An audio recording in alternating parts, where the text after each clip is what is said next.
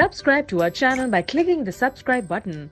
Click the bell button and enjoy the latest.